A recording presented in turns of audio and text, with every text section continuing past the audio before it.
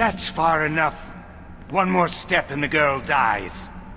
Oh, you're in trouble now. Told you I had powerful friends.